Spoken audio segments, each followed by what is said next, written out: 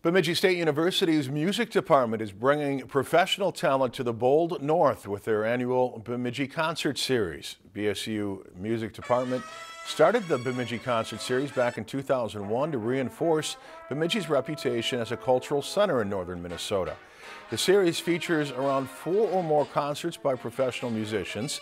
Tonight, Minneapolis-based group The Hornheads performed, bringing the professionals up also provides a unique opportunity for students. The great thing about the concert series is we bring a group in to perform, but um, they usually perform a master class with students. So students, our jazz band um, played for the Hornheads this afternoon and got some feedback for, from some professional artists about um, some of the music they're playing and how to play better.